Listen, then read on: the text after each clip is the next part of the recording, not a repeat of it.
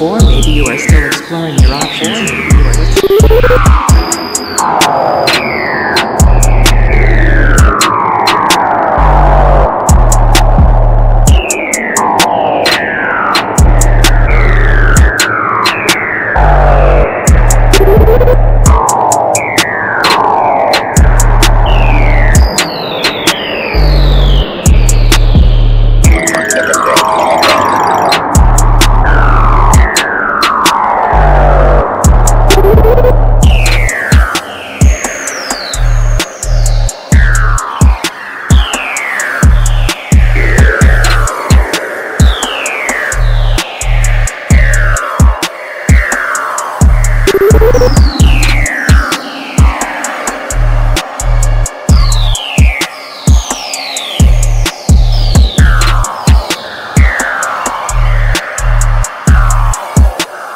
in the grave.